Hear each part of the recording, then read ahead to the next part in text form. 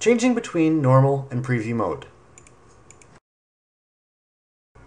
Switching between normal and preview mode is a useful little trick that will save you some time and effort. When you open the newsletter file, this is the screen you will see. The screen is filled with guidelines and margins.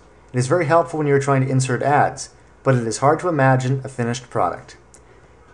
When you are done with the newsletter and want to do one final proof check, you want to see what the newsletter will really look like.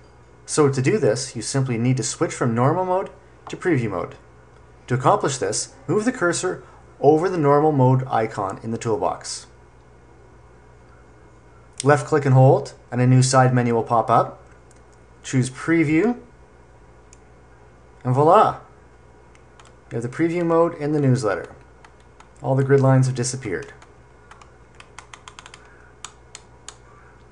To switch back, just repeat the process left click, and normal.